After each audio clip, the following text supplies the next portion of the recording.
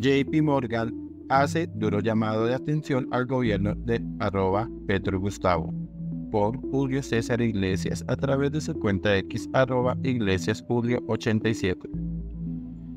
El banco más poderoso de Wall Street acaba de publicar un informe exclusivo para sus clientes.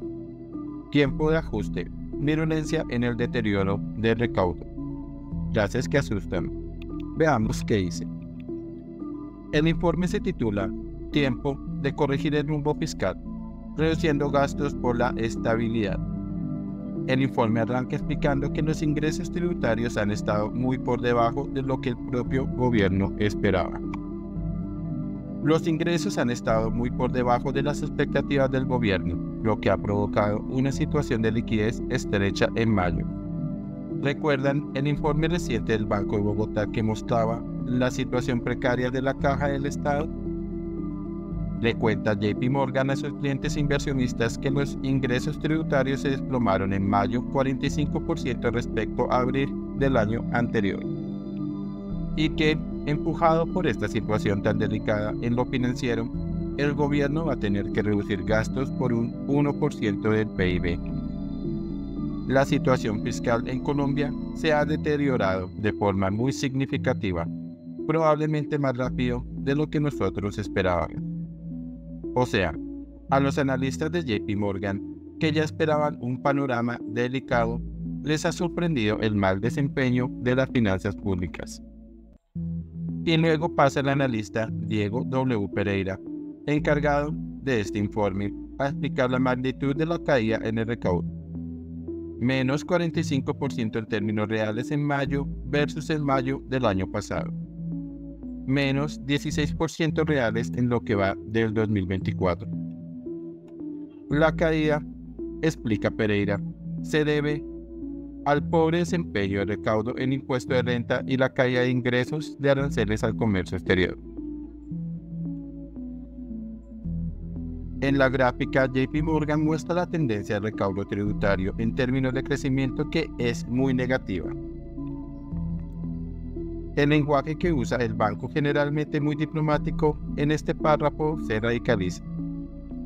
Un síntoma de lo delicada que es la situación. La virulencia del mal desempeño en el recaudo tributario no es sorpresa, afirma.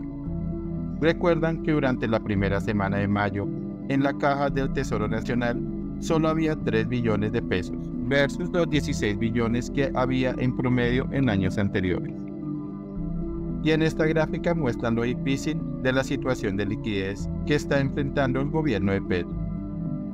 La línea negra representa la caja del Estado durante 2024, como pueden ver muy por debajo de los años anteriores.